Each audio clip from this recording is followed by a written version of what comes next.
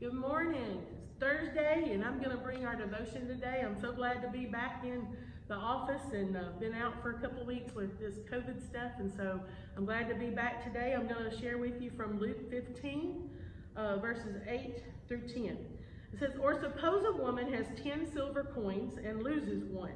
Doesn't she light a lamp, sweep the house, and search carefully until she finds it? And when she finds it, she calls her friends and neighbors together and says, Rejoice with me, I have found my lost coin. In the same way, I tell you, there is rejoicing in the presence of the angels of God over one sinner who repents.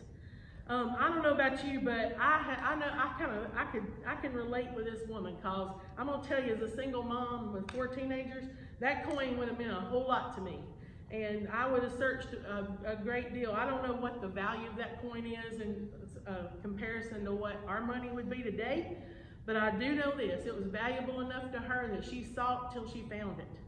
And it could not be replaced. It was valuable enough to her she had to search for it till she found it because there was no replacement for it. Um, I believe that's exactly how God seeks us.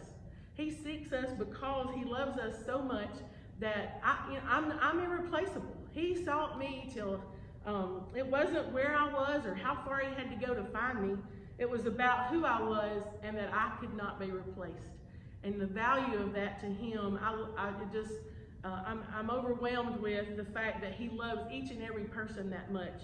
And that um, then the rejoicing in that comes after that. I mean, the, the salvation, it's always, there's always a reason to rejoice whenever we find something that we've lost uh, I don't know about you, but I got lost as a kid. I know the pastor was sharing that Sunday in his message uh, in a store one time. And, buddy, I don't think I've ever seen my mom any happier when she found me. But uh, I, I was actually hiding on purpose, y'all.